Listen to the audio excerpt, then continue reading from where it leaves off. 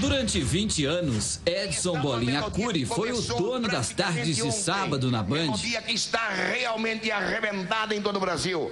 Irreverente e carismático, comandava um programa cheio de atrações que tinha sempre um convidado ilustre. Entre os vários craques que marcaram presença no clube mais simpático da TV, um emocionou o telespectador, a plateia e o apresentador de forma especial. Vamos então prestar nossa homenagem como brasileiros que somos à glória mundial Edson Arantes do Nascimento Pelé.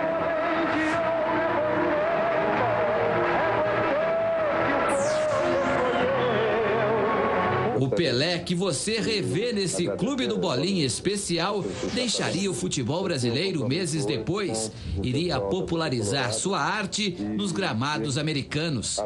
Eu já deveria ou já poderia estar fora do Brasil há muito tempo, mas infelizmente eu não sei se lá fora eu ia ter esse carinho humano, esse calor que eu tenho aqui. E é por essa razão que eu comecei a minha carreira aqui no Brasil e se Deus quiser vou encerrar a minha carreira no Brasil. Muito obrigado. Né?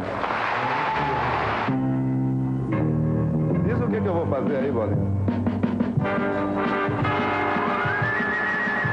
Um apito inicia a partida, onde a glória ficou entre as piscas do campo e da vida. A emoção desse amigo Pelé. Foi um grito de glória, Brasil, a vitória.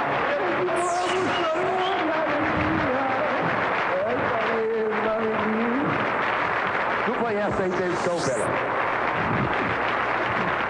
Três Corações foi seu berço, o futebol foi seu terço, a bola sua oração.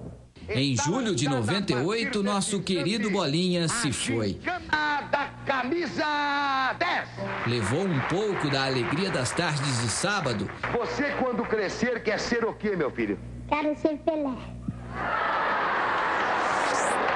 deixou eternizada a imagem de um cara é simples que só entrava em sua casa para dividir o riso e a diversão.